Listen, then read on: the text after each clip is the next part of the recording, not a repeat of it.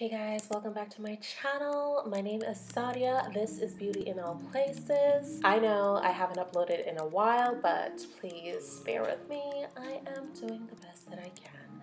So today for breakfast, I wanted to start with an acai bowl. I lost the footage for this, so I'm just showing you guys a mock up of what I did to get to this point. Um, this acai blend was really good. I added some bananas, some strawberries, and some mangoes to this.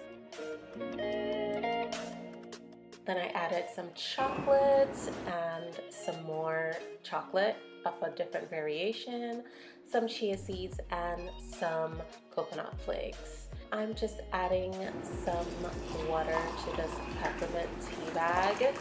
And this is what this looks like. This grilled cheese i mean if you haven't seen how i make grilled cheese check out my other what i eat in a day video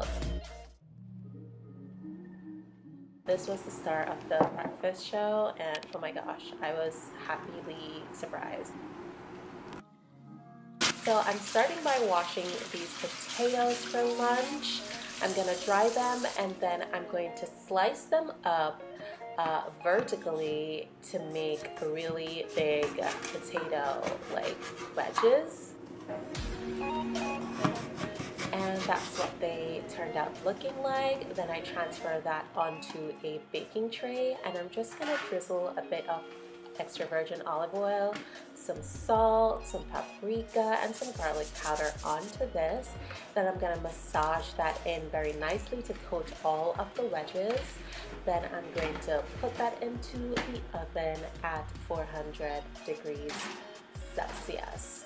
Here I'm just slicing up some bell peppers to add to the burger that we're going to make.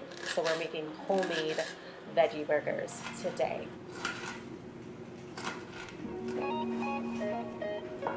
You guys know how much I love to do my little slicing B-rolls for you. So we're just gonna transfer the veggies into this bowl into this other bowl, I'm going to add two cans of black beans. Then we're gonna add some oats this is quick oats. We're adding back into this bowl the chopped veggies. We're gonna add some salt, some black pepper,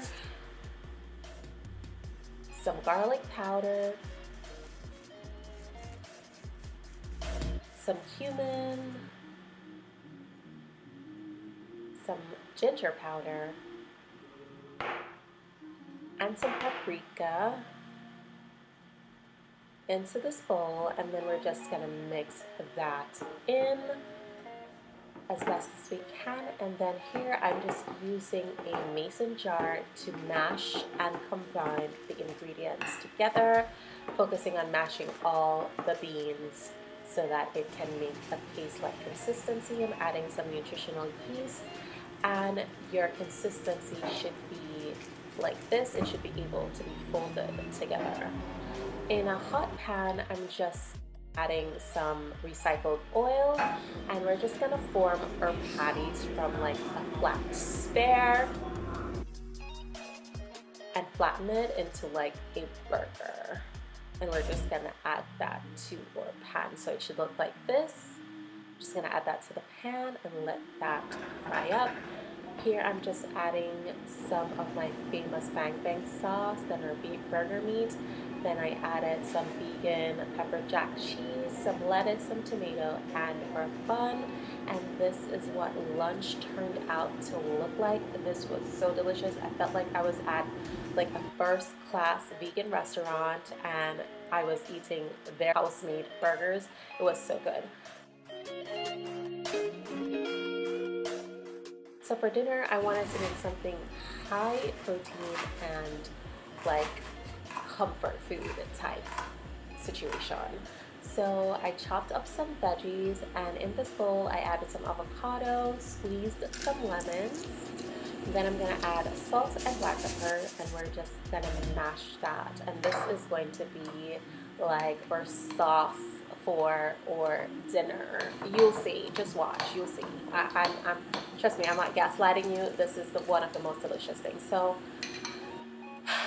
I lost the footage for the starchy part of my uh, meal, but the pasta that we're going to be making is actually edamame pasta, which is high in protein, very fibrous, and very nutritious.